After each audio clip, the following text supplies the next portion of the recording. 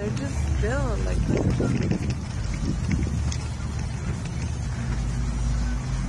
What are they?